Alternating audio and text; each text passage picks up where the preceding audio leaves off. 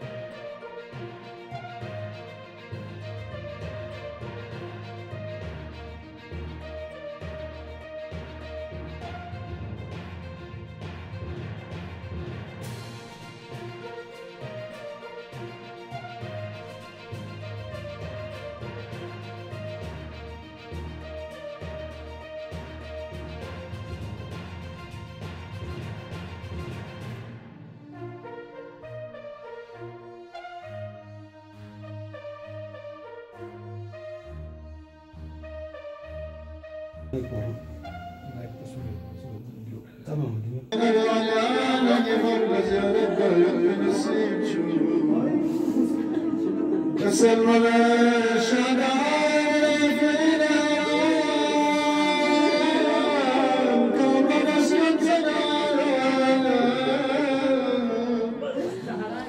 Bye.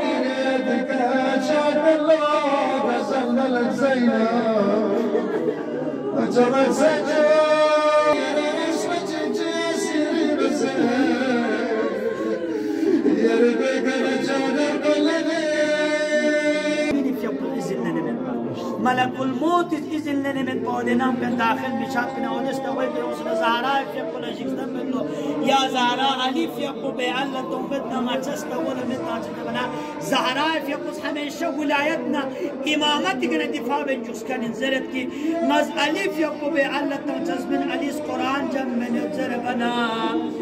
mübarek istagola metan sepettu çetsesna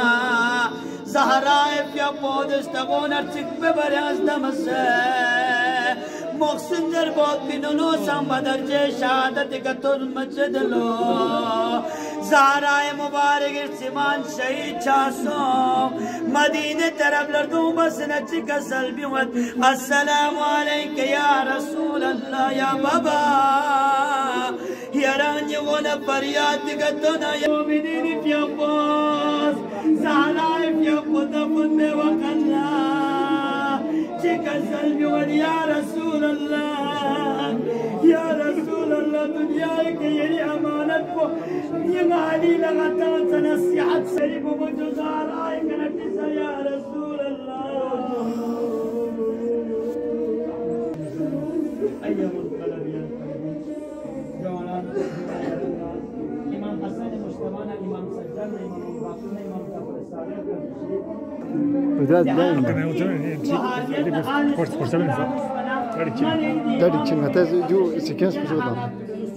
خدای درگاہ دعا بس خدا پاک پروردگار اتی امام کنے قبر شریف کن باقی امام کنے قبر شریف کن چونا تولا اچم جسے فیستی کرنے نیستو نابو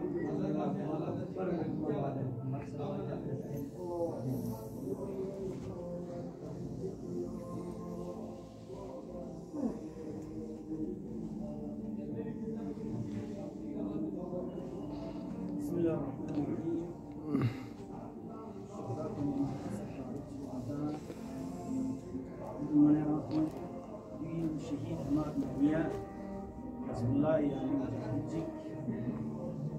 الله يعني محمد حسين فهميدا qui تیرہ سال جوانی کا ران جان کو قربان بسے دیں یہ بسم اللہ الرحمن الرحیم۔ سب سے پہلے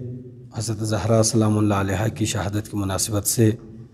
تمام ممنین و مومنات کی خدمت میں تعزیت پیش کرتے ہیں۔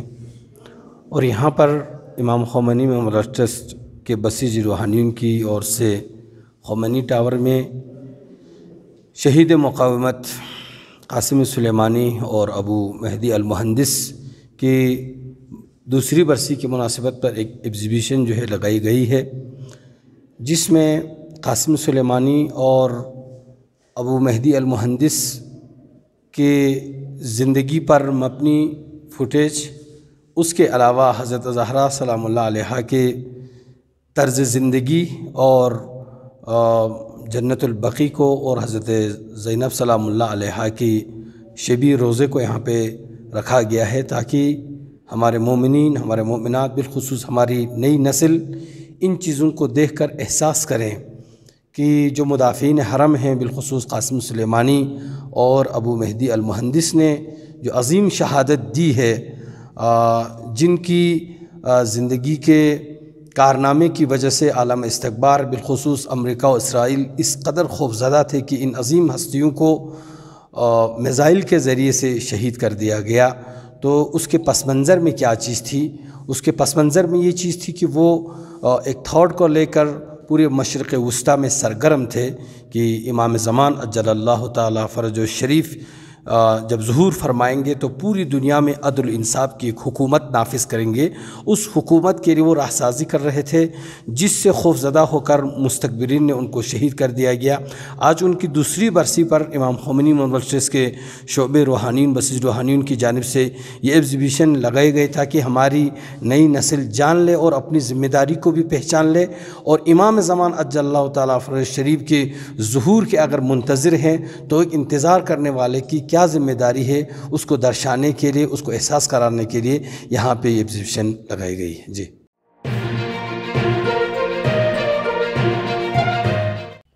مقامی قومی اور بین الاقوامی خبروں سے باخبر رہنے کے لیے چینل کو لائک شیئر اور سبسکرائب کریں۔ ساتھ ہی بیل آئیکن دبانا نہ بھولیں۔